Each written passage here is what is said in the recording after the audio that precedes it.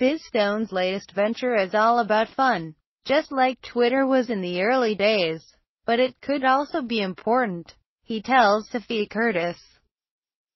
Twitter co-founder BizStone may be one of the most successful entrepreneurs in the world, with an estimated net worth of $200 million, 130 million pounds, but he is still a hippie at heart.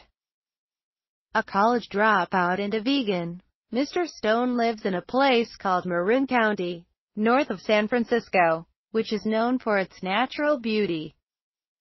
He has a philanthropic foundation set up in his name, to help fund charitable projects in areas such as education, the environment and animal welfare.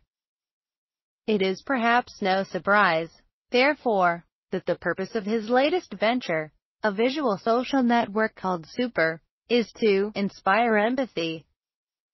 I know it sounds eye-rollingly, hallucinogenically optimistic and hippy-dippy, but I feel like emotion is missing from other social networks, he said. There's a space in the world of social media for a more nuanced, more emotional, more emotive way of communicating with one another.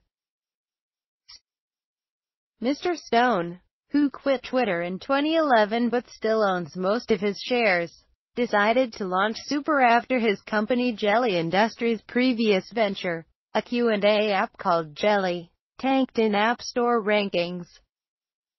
The problem with Jelly which was premised on the idea that people can answer certain types of questions far better than a search engine, was that not enough people had questions to satisfy users' desire to answer.